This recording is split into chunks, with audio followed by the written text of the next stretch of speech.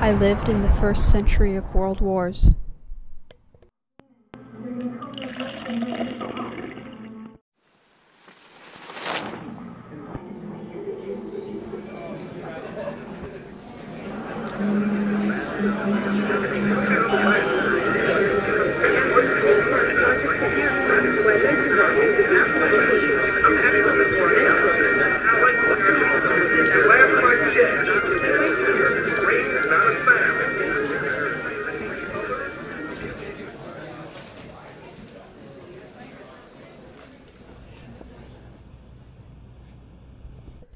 In the day, I would be reminded of those men and women, brave, setting up signals across vast distances, considering a nameless way of living, of almost unimagined values.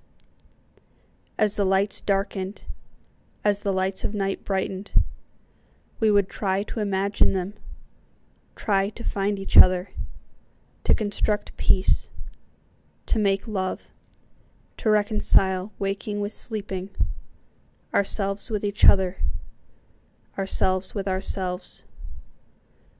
We would try by any means to reach the limits of ourselves, to reach beyond ourselves, to let go the means, to wake.